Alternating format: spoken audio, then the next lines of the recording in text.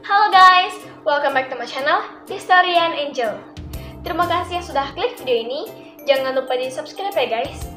Terima kasih juga untuk yang sudah subscribe channel saya. Wasi. Tidak banyak orang yang kenal dengan desa ini. Karena desa di Cina ini jarang masuk pemerintahan media. Tapi katanya guys, desa ini merupakan desa terkaya di dunia. Bagaimanakah kehidupan di desa yang terkaya di dunia ini dan siapa pendirinya? Just check it out.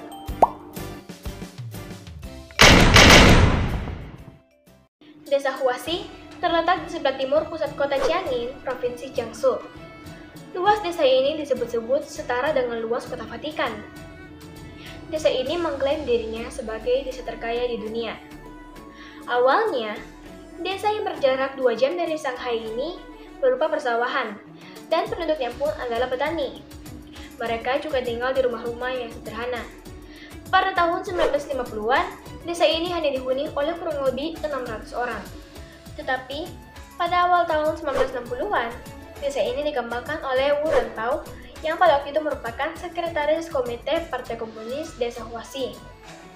Wu Rentau ini lahir pada tanggal 17 November 1928 dan dia meninggal pada tanggal 18 Maret 2013. Wu Rentau ini guys, termasuk orang yang berada di Jiangyin. Dia membangun 12 perusahaan industri multisektor mulai dari tekstil hingga baja di desa Huasi. Wuren Pao ini pun dikenal sebagai pendiri desa Huasi karena dia telah berhasil membuat desa Huasi menjadi maju dan bangkit dari keterpurukan. Warga-warga desa yang dulunya adalah petani, sekarang bekerja di perusahaan-perusahaan yang didirikan oleh Pao ini. Sebagai imbalannya, mereka pun mendapatkan gaji yang besar. Rata-rata, pendapatan mereka itu mencapai 230 juta per tahun. Ya, kira-kira 9,5 jutaan gitulah guys per bulan. Pendapatan desa tersebut sepertiganya berasal dari industri besi dan baja. Wasi mengimpor bahan baku dari India dan Brasil, mengolahnya dan kemudian mengekspornya ke kurang lebih 40 negara. Pada tahun 1998, Warren Pao menaruh perusahaan-perusahaannya ke dalam bursa saham di Cina, dan dia melibatkan penduduk asli desa Huasi sebagai pemegang saham perusahaan-perusahaan tersebut dan mereka dibayar seperlima dari keuntungan tahunan. 40 tahun sejak dikembangkan, desa Huasi pun didaulat sebagai desa terkaya di dunia. Dan kemudian, Warren Pao pun memasang tulisan di pintu masuk desa Huasi yang bertuliskan desa nomor satu di dunia.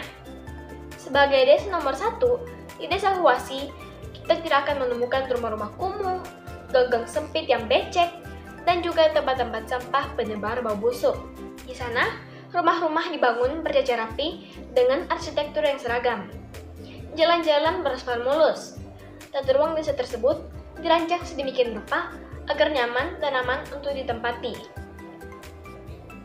Sebanyak 2.000 penduduk asli yang terdaftar dimanjakan dengan berbagai fasilitas. Mereka diberikan rumah mewah lengkap bersama dengan perabotannya. Mereka bisa tinggal di rumah itu bersama dengan keluarganya, dan rumah itu diberikan secara gratis oleh otoritas desa. Di desa Huasi, nggak ada itu istilah orang miskin dilarang sakit, karena otoritas desa di sana menjamin kesehatan warganya. Begitu juga dengan pendidikannya, semuanya diberikan secara gratis. Tidak hanya rumah mewah, kesehatan, dan pendidikan. Warga Huasi pun diberikan mobil mewah dan lagi-lagi secara gratis. Ada lagi nih, para warga desa yang terdaftar sebagai penduduk asli akan mendapatkan tabungan sebesar 250 ribu US dollar atau kira-kira sebesar 3,5 miliar rupiah di rekening banknya. Wow, gila nggak tuh? Enak banget.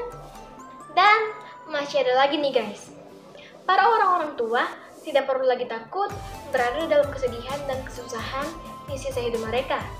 Karena bagi wanita di atas usia 50 tahun dan pria di atas 55 tahun akan diberikan uang pensiunan bulanan dan bahan makanan.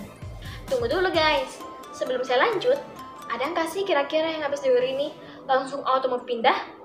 Silahkan komen di bawah. Kali aja, ada di antara kalian yang bercita-cita ingin jadi milioner Bisa tuh satu koper?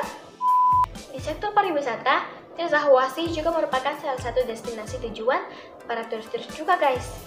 Karena di Desa Huasi, banyak dibangun replika ikon-ikon dunia.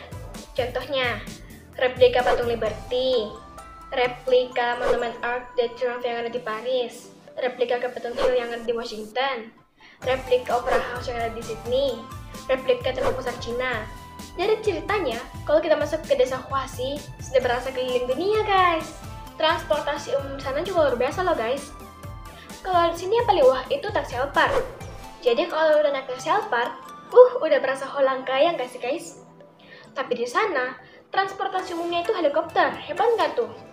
Jadi di desa Huasi ada Tokyo Airlines Company yang siap membawa kamu, kamu dan kamu mengeliling desa dengan helikopter. Pada tahun 2011, Urantau membangun sebuah gedung pencakar langit yang bernama Hanging Village of Huasi yang mencapai ketinggian 328 meter, 4 meter lebih tinggi dari Menara Eiffel, yang terdiri atas 72 lantai. Di dalam gedung ini terdapat apartemen, restoran berputar, hotel bintang 5 yang bernama Longxi International Hotel. Hotel itu terdiri atas 826 kamar mewah.